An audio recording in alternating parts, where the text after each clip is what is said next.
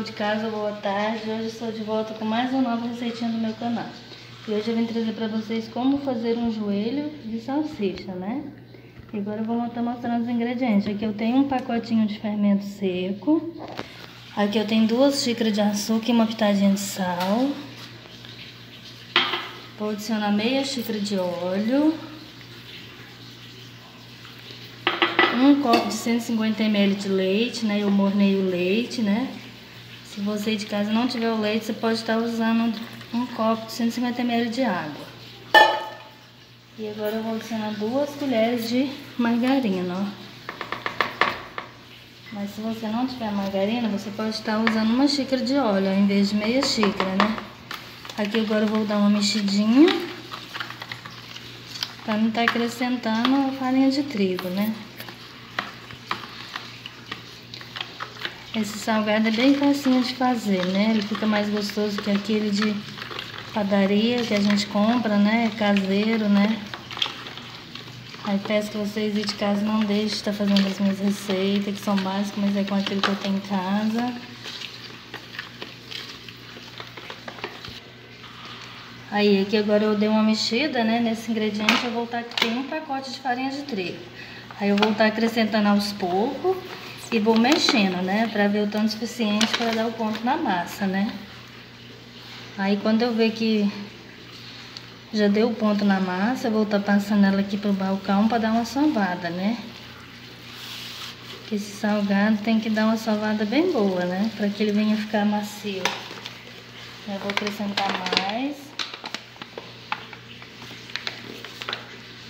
Aí a hora que ela dá o ponto aqui, eu falo pra vocês o tanto que eu gastei, né, do pacote. Aí, aqui eu coloquei quase um pacote, ficou apenas um pouquinho, ó. Agora que eu passei ela pro balcão, né, pra tá salvando ela. Joguei um pouco de farinha de trigo para que não venha pregar no balcão.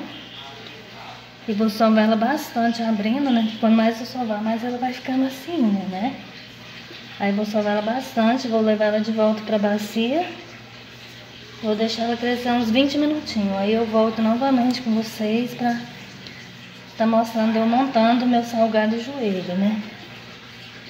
Peço que vocês não deixem de inscrever no meu canal, deixar seu joinha, seu comentário. Que vocês tenham um tempinho do vídeo de vocês para assistindo as minhas receitas, que são básicas, mas é com aquilo que eu tenho em casa. Aí agora eu vou salvar ela bastante, vou colocar ela de volta na bacia, cobrir com pano. E volto novamente com vocês. Daqui 20 minutinhos. Aí, ó, você que ficou até agora, minha massa já tá pronta, deixar ela por 20 minutos, tá vendo? Ela tá até rachando, tanto fofinha, ó. Tá bem fofinha, né? Agora que eu vou pegar e vou tirar uma parte, né? Pra mim tá abrindo ela aqui, né? Agora eu vou pegar essa parte que eu cortei e vou abrir aqui, né? Vou colocar ela aqui para tá abrindo. Eu vou abrir com um copo, né? Como eu tô sem o rolo no momento, então eu vou estar tá abrindo ela com um copo. Vou estar tá abrindo ela toda aqui com um copo para mim estar tá ensinando para vocês como eu vou estar tá preparando o meu joelho de salsicha, né? Se você souber o quanto que salgado é gostoso, né? Você que quer comer um salgado, né? E tá com preguiça de sair para comprar, Faça, gasta pouco ingrediente rende muito.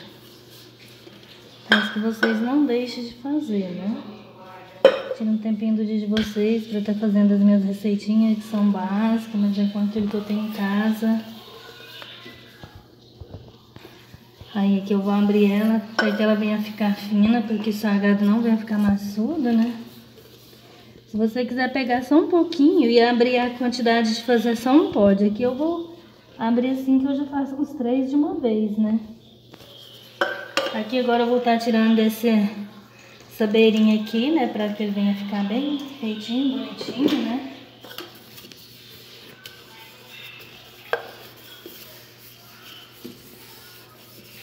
Aí, agora eu vou mostrar pra vocês como vou estar tá montando, né? Aqui você pode fazer com mussarela, presunto, o sabor que você quiser. Eu vou estar fazendo de salsicha, porque como eu disse para vocês, é com aquilo que eu tenho em casa. Então eu vou estar fazendo com salsicha, né?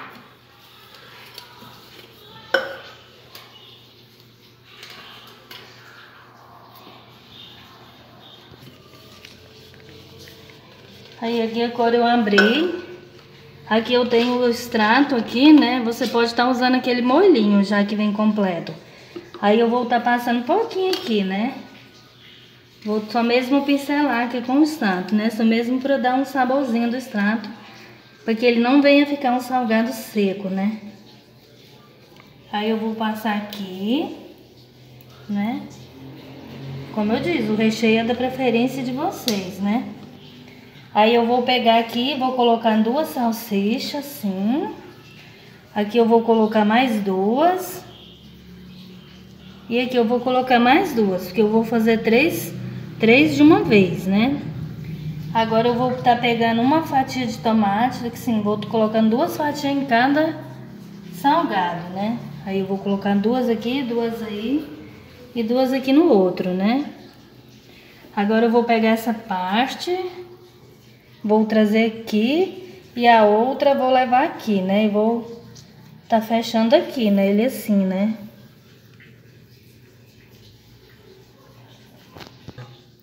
Aí aqui eu fechei ele, né? Tá vendo? Agora aqui eu vou cortar, ó.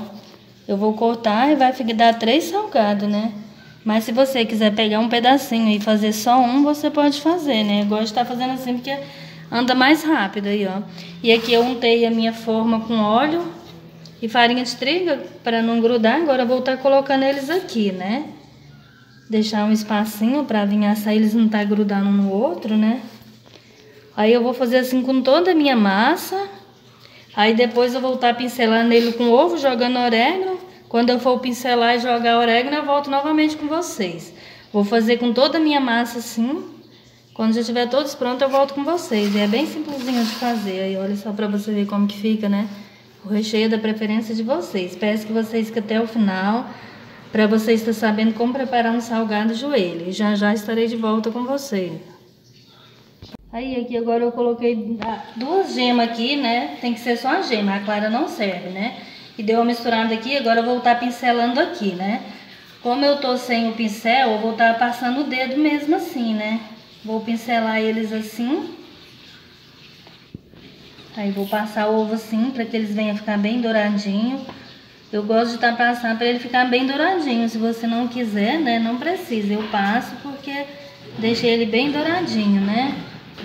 Agora eu vou jogar o orégano, aí eu vou fazer com todos eles assim. Vou estar jogando o orégano aqui e meu forno já está esquentando, né, 180 graus. E vou levar no forno. Vou fazer com todos eles assim. Quando já tiver todos prontos, eu volto novamente com vocês. Peço que vocês fiquem até o final. E não deixe de assistir nem fazer os meus vídeos. Aí eu vou fazer com todos assim. Vou levar no forno 180 graus. Quando já estiver todos prontos, eu volto novamente com vocês. Já já estarei de volta com vocês.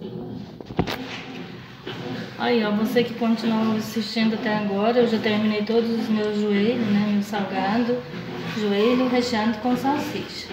Aí agora aqui tá prontinho, olha só pra você ver como que ele fica, né, ele fica muito gostoso, muito fofinho, a massa dele é bem macia, ó né? Peço que vocês não deixem de fazer. Tire um tempinho do dia de vocês para estar tá fazendo as minhas receitinhas que são básicas, que aquilo que eu tenho em casa.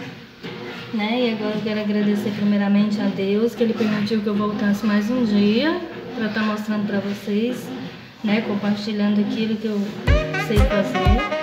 E quero agradecer a todos vocês de casa. Todos vocês fiquem com Deus e um beijão. E amanhã estarei de volta, se o Senhor permitir.